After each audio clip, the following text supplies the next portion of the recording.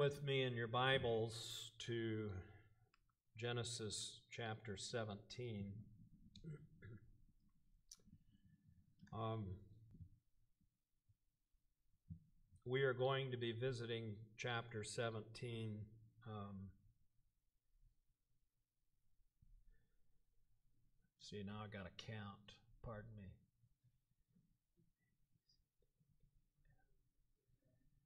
this month and the first week of August. There's just a lot here that I thought we needed to cover in Genesis 17. We're going to do quite a bit of review, but we're going to bring some other aspects into that as well. Genesis 17, really, we're looking at the first part of the, well, the first three fourths of verse 1.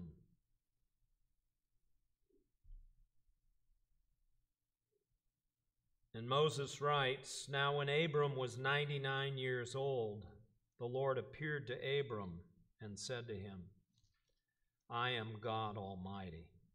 I am God Almighty. As we approach the text this morning, uh, Abram has been on quite the journey, and we with him. I, at least I think we have. I have. I hope you have too. In chapter 12, he was called by God to leave everything he knew for something God would show him. Right? He would leave his country and his relatives and his father's house to obtain a land, a nation, and a great name. But more than that, it is not just that. It is that, but it is something else as well. He would receive the blessing of God and become a vessel through which the blessing of God comes to others. Now, isn't that uh, something to aspire to? Not to be an end in itself, to receive God's blessing and make it stop there, but the blessing of God is of such a nature that it would come through you into the lives of others. And even greater still concerning Abram, it would be in Abram, that is, in his seed, that the families of the earth would be blessed. And that's quite a testimony as well. Uh, that is good news because the families of the earth uh, had not been blessed. The families of the earth uh, had demonstrated time and time again that in itself, that is, in humanity itself, it could not arrive at the answer that it needed. It had nothing in itself no resources in itself to achieve deliverance, to achieve God's blessing or favor upon them. And so this is a great promise. This is a fantastic, gloriously wonderful promise.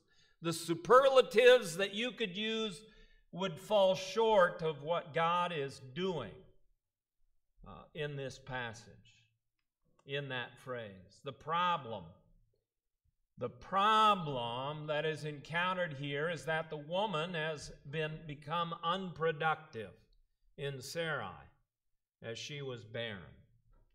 Uh, that's sort of the repeated phrase, right? Refrain. And Sarah was barren, and they had no children. And yet the promise of God persists. Well, then Abram ventures throughout the land and he ends up in Egypt. And there God thwarts the uh, purposes of Pharaoh, the seed of the serpent, and instead curses Pharaoh and blesses Abram. With that blessing comes strife between the herdsmen of Abram and the herdsmen of Lot. Remember that. Abram having been the recipient of the promise of God, gives first choice to Lot. And Lot chooses the valley of the Jordan, and Abram remains in the land. Instead of going to the right or left, as Abram suggested, that is, north or south, Lot uh, went east. He goes east. There's a war that breaks out then between the two sets of kings from the east and in the, in the Jordan Valley, Sodom, Gomorrah, and others. And Lot is taken captive. Abram rescues Lot and returns the goods to the other kings, and he meets Melchizedek, priest of God Most High. He takes nothing from the king of Sodom. He says, I won't be enriched by you. And in fact, Abram only does it because of his nephew, right? The blessing of God comes to Abram, which then flows to Lot. Then God appears to Abram in a vision and cuts a covenant with him. On the heels of the assurance of God in the making of this covenant, Sarai is still barren. So she gives her Egyptian servant to Abram to have children through her. The plan backfires, for Hagar refuses to go through with her side of the bargain. She decides, This child is mine, and I'm going to keep him. Abram at that time was 85 when he was alerted to things, and then 86 when uh, Ishmael was born. Now we come, uh, we come to the setting for today. We have now been with Abram for 24 years, as the text says that he is 99 years old. Did I do my math right? 99 minus 75? 24 years. And again, I think we have this idea that God was constantly speaking to or revealing himself to the saints of old. But such was not the case. The last time that God had appeared to Abram, he was less than 85 years of age, or about 85. So at this point in time, it had been at least 14 years. 14 years since the Lord spoke to Abram and revealed himself in any significant way at all whatsoever. Can you imagine? I don't know if Abram had written down anything, but he had the assurances of God in previous appearances. And he had the altars that he had built in calling upon the name of the Lord. But it had been 14 years. And within the last 20 or within and within the 24 years that Abram had been in the land counting his call, the Lord had appeared to Abram three previous times. It's not a lot for 24 years. So when God speaks in furthering revelation, it is important that we listen to what he has to say. This is true whenever God speaks, whether it's a few words or many. What is important to note, though, is that when God speaks in a major way, redemptive history is being advanced. Something is going on. God is enlarging something. So the text says very clearly for today, in 17.1, that the Lord appeared to Abram and said to him, I am God Almighty. I am El Shaddai. What does the name mean? To begin with, the word El is translated God, and Shaddai is translated Almighty. The word Almighty is derived from the Septuagint, which uses the word that means all powerful. The writers, the translators for the, for the Greek Old Testament, the Septuagint, uh, decided that all powerful was the best word. The Latin Vulgate translates the word which in the English means omnipotent. Omnipotent. There are some who trace the Hebrew word to a root meaning to be strong or powerful. A rabbinic analysis says that this word is a compound word meaning one who is enough or the one who is sufficient or self sufficient. In more recent times, two other suggestions have been put forth. One is that the word is to be connected with the Hebrew verb meaning to destroy, thus, El Shaddai, God my destroyer. The second option is that the word is connected to an Akkadian word meaning mountain. And so, when used in combination, El Shaddai would translate into the English something like God of the mountain. God of the mountain. That is, it is in reference to God's abode. That in itself would be a good study of the mountains. You may think, well, the mountains. Well, everything that God does has been on a mountain, right? Even Jesus, the Sermon on the Mount, right? Yeah, law giving from the mountain, revealing himself from the mountain, and so on. We think of it as his abode, that is where he reveals himself here on earth very often. The effect of the meaning concerning mountain is that it instills confidence in the person of faith. Confidence. I mean, you look up at the mountains, right? You think, man, they are something.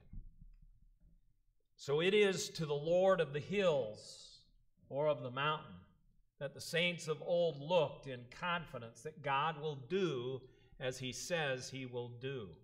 And we're going to come back to that in a minute. What has Abram, we want to look at what Abram has learned, what we have learned about God to this point. At the start of this project, we learned that God is the creator of the heavens and the earth. To say that God is the creator is to say that God brought forth the material of the universe, seen and unseen, out of nothing, right? So scientists banter back and forth about whether there was something rather than nothing, and why is there something rather than nothing, and all of these things. Philosophers throw in their two cents. We look at the scriptures, and this is what it presents to us God is the creator, and He didn't need material, He brought it forth. He brought it forth. Everything seen and unseen, and throughout the first week, He fashioned it together. To say that God is the creator of all things, then, is to say that God is the sustainer of all things. Sustainer of all things. What He has created, He sustains. And we learn that as creator, our God does all things well. God looked over everything and He said, It is very good. He does all things well. The Lord, from time to time, enters into evaluation of some aspect of creation, and at the end of the creation week, it is very good. To say that God is creator and sustainer is to say that God is intimately involved with creation, right? Intimately involved. He is not the deistic God who created all things and is now absent from all things. No. Our God is the creator and sustainer of all things and is involved in all things. There is no strictly natural law, then, at least in my opinion, as if God is not needed. If you think natural law means that God is not needed, then you have a wrong idea of what's going on. Because He upholds all things, what does the writer of the Hebrews say? By the word of his power. He sustains it all, he holds it all together. In Christ, all things consist and are held together. He sustains it all, and he is sustaining, sustaining his creation even now. He is very much Lord of all, and he is sovereign over all. In planting the Garden of Eden, we find that our God provides abundantly for humanity. He gives him a perfect environment in which to thrive and prosper and accomplish his will. He is to, to subdue, right, around him. He is subdue and take dominion of creation. Today, don't mean to get in trouble. Of course, I tread where we tend to think we should not take dominion we tend to think as humanity, no, we shouldn't subdue all things. It's a different worldview. It's a different idea of how we approach the things around us. Oh, we got to be careful. And we think we're God.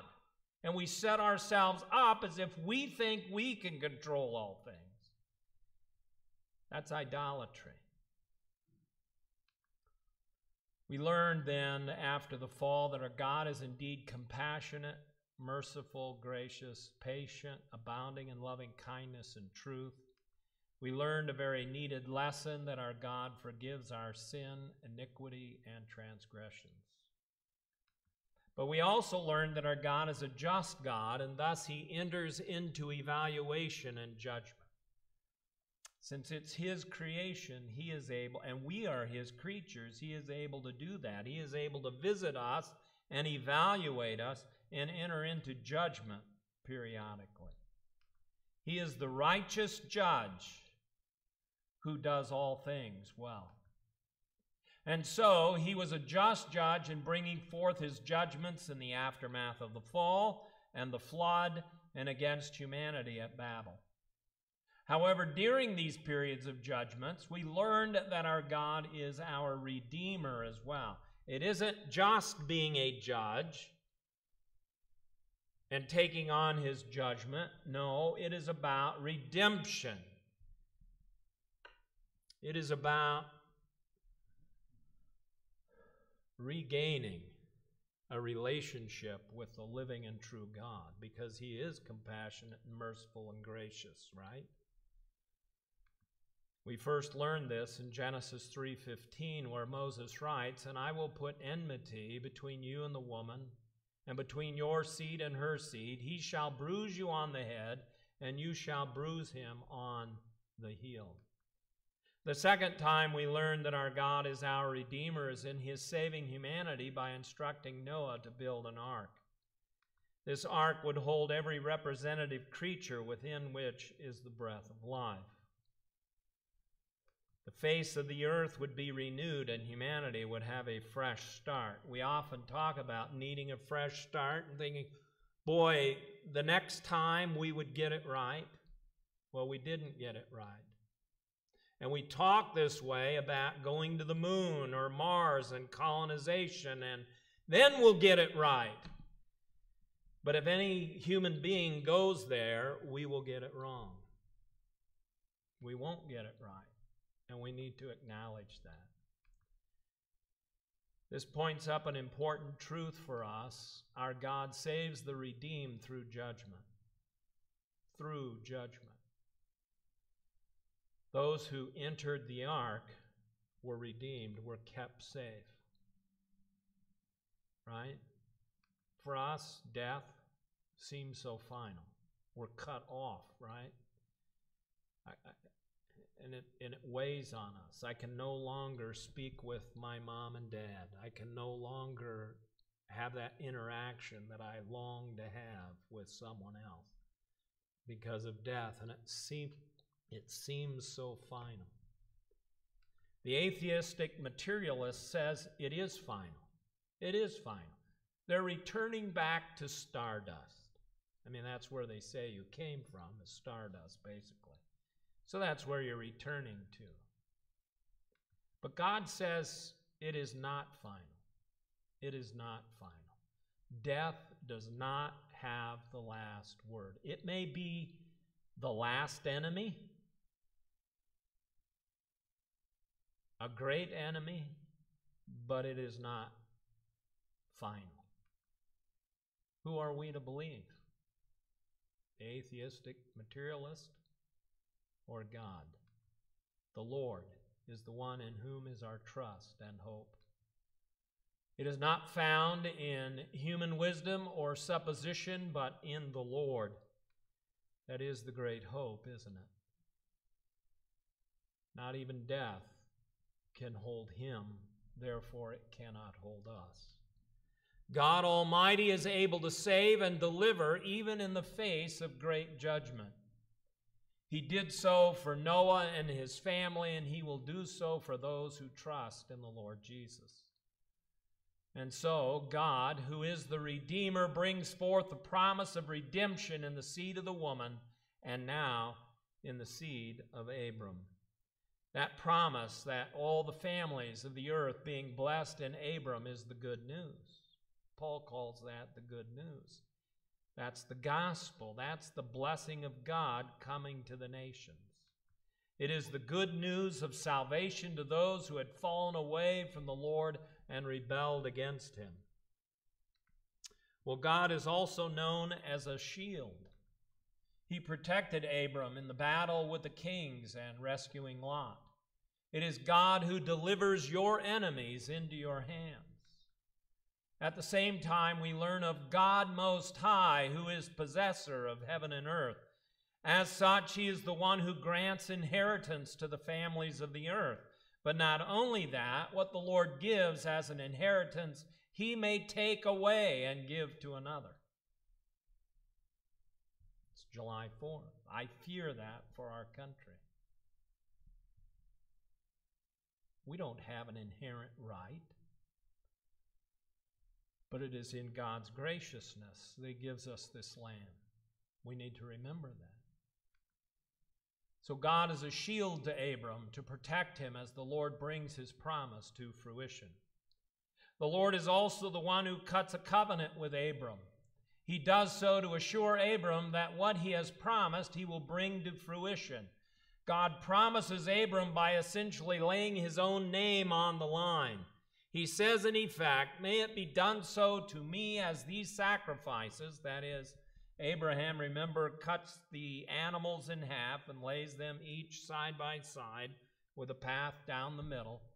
So God is saying, in essence, may it be done to me as these sacrifices if I do not fulfill my word to you. And then the Lord reveals himself as the one who sees. That is, he sees the affliction of his people. He saw the affliction of Hagar and responded accordingly. However, Abram and Sarai know the affliction of being childless. God will see their situation and he will respond. And the children of Israel cry out in their affliction, and the Lord takes heed to it because he sees them and what they are enduring. and now God introduces himself as El Shaddai, God Almighty. If it had to do with being God of the mountain, what might be said? When you think of a mountain, what comes to mind other than I'd rather not drive over it? Although I did, but majesty, exaltation, power. dread, steadfastness, immovability, strength, confidence. Look at what the psalmist says in Psalm 121, verses 1 and 2. I will lift up my eyes to the mountains. From where shall my help come? My help comes from the Lord who made heaven and earth. Make special notice here of what the psalmist does. He looks up to the mountains. He looks up to the mountains. But he does so from a position not of admiration of it per se, but of needing help. Of needing help. So he looks up to the mountains. It's as if he's saying, I will purposefully look up at the mountains because I need help. And there I find my answer to my question from where will my help come? It comes from the Lord who is the God of the mountain.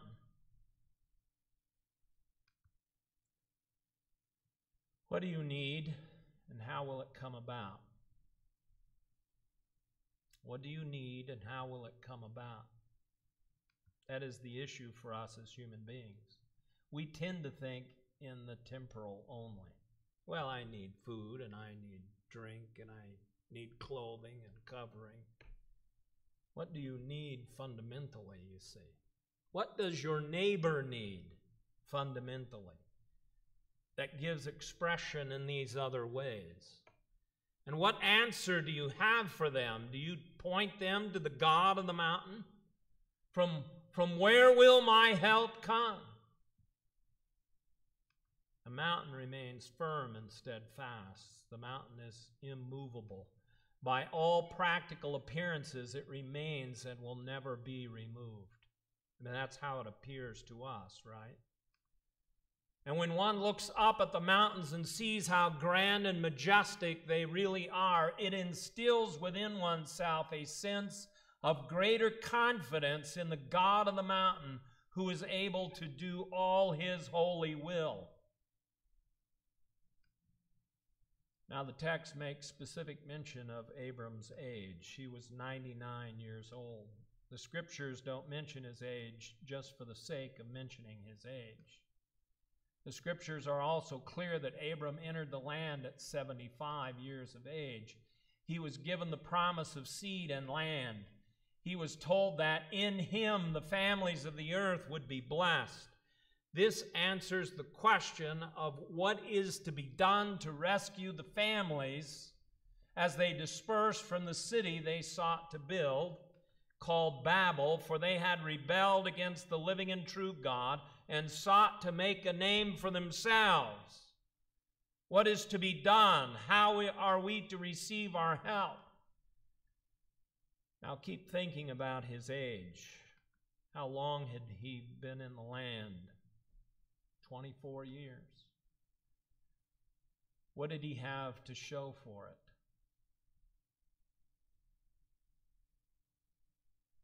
What did he have to show for it? For in 24 years. Think about it. What did Abram have to show for 24 years of being in the land, setting up altars, calling on the name of the Lord? And the answer is absolutely nothing. So it's sort of a question and an exclamation point, right? Absolutely nothing, someone might say. But that is not quite the case, is it? What do you mean, Pastor? He was promised both land and seed, and he hadn't received anything yet. To what are you referring? I'm glad you asked. He did receive something. What had he received up to this point? He had received the Lord Himself. He had received the Lord Himself. He had the living and true God revealing Himself in various ways to encourage him through, throughout this process. So when Abram needed it, the Lord revealed himself as the one who blesses. When he needed it, he revealed himself as the one who protects. So listen carefully here, see, because God is at work in you doing these things. So the same question can be asked of you. When your neighbor needed it, were you there to bless? When your neighbor needed it, did you stand up to defend them? To protect them. When the Lord when he needed it, the Lord revealed himself as the one who is a shield. Have you been a shield to someone? You see, the blessing of God comes to you and then through you to your neighbor. When he needed it, he revealed himself as the one who sees your affliction. Have you seen the affliction of your neighbor? Your, the trouble therein. When we say sees, of course, we mean he takes heed to it, he understands. But not only that, he acts on behalf of the one who is afflicted. And now, when Abram needs it, God Most High reveals himself as El Shaddai. As we wrap up our thoughts for today, where does all of this leave us? One, it leaves us with the fullness of the revelation of God Himself. And what do I mean by that? It means that our God has left us with His Word in which is revealed everything we need to know about Him right here in the pages of this work. Not in encyclopedic form, I've said before. If that were the case, you know, this sanctuary couldn't contain all the volumes. Remember Peter? It's been a while. He says the Lord gives us everything we need for life and godliness. What does that encompass? Well, everything about your life and everything about being godly in this life. All the resources necessary. Everything about it.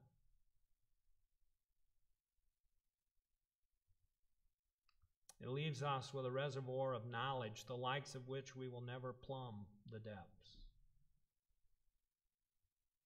We're trying, we're digging, we continue. God chooses to disclose himself to us. He is gracious in that way. That is, specially through His Word. Through His Word, He unpacks who He is as God and how He interacts with His creation. He reveals His ways to us. And He is able to demonstrate those ways to us throughout redemptive history as He unfolds it for us. So remember, Abram wasn't that far along in redemptive history. I mean, here, Abraham, the rest of redemptive history, right? He wasn't that far along in it. There wasn't as much revealed to him as there is to us, but, but this is key. If you forget everything else, this is something you need to latch onto. There was always enough in whatever stage humanity was found. Always enough. There is never a point in time in human history where a group of humans could stand before God at the judgment seat and say, In our era of existence, you just didn't give us enough. It won't work because that's not true. He has always given us, He's always given humanity enough for life and godliness at whatever stage of development as we look back. Knowing this, secondly, do you know Him? Have you called upon the name of the Lord to deliver you from your sins? Remember, He is compassionate and merciful and gracious and patient and abounding in loving kindness and truth, forgiving our sin, iniquity, and transgression. That's why we call upon his name. Remember, we call upon the name of the Lord because of a desire to act on behalf of or remember his people. Lord, it seems like your people are losing. What's going on? Help! It's not very complicated. We call upon the name of the Lord in remembrance of his character. Lord, this situation in which I find myself seems incongruent with who you are as God. Help me see, help me understand. And we call upon the name of the Lord for salvation, which is itself a continuum from the temporal to the spiritual or eternal. And this is the point we are talking about here. Again, remember, God is compassionate and merciful, gracious, patient. This doesn't encompass everything, but it's a good start. Abounding in loving kindness and truth and forgiving sin, iniquity, and transgression. To whom else is there to appeal?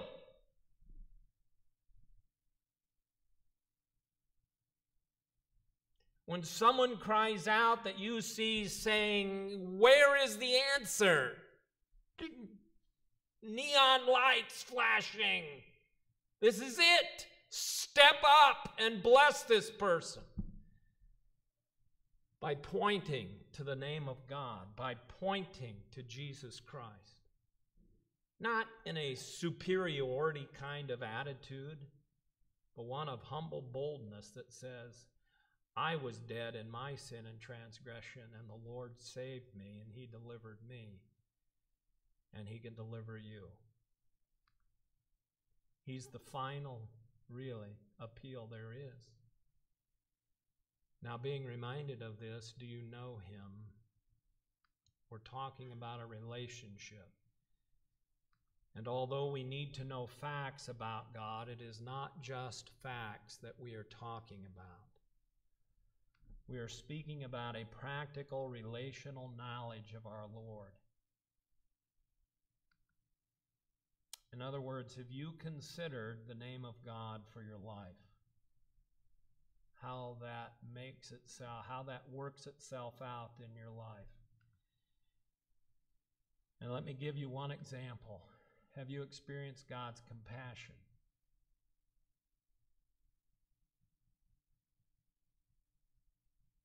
Every one of us has to answer in the affirmative, of course. Yes. Have you demonstrated or lived out that compassion in your own life toward others? Think again about the kind of person you are, not what other people say about how great you are. Oh, so and so, oh, she's really great. She's the best person in the world. And you're humbled by that in two ways. One, because of a testimony before the Lord, but in another way, you know yourself well enough that there is nothing good to say about you apart from God's grace and mercy. That's a humbling experience. And understanding again that how God has been so patient with you. How can you not be that patient with others? How compassionate God has been with you. How can you not be that way with others? And have you experienced the various ways in which God reveals himself in your life? In his compassion and mercy and grace and so on. I trust that you have. Father in heaven, thank you for your word, for the abundance of your grace that flows through the word and it is applied to our lives through uh, the Holy Spirit. Lord, we, we simply give you thanks. We bow before you, the Lord of glory. And we give thanks and praise to you. For without you and without abiding in the vine, there is no hope. There is no help. But instead, like the psalmist and like Abram, we may look to the mountains. From where does my help come? My help comes from the Lord. Lord, may that message resonate in our lives from now till eternity. And we'll give you the glory and praise through Christ. Amen.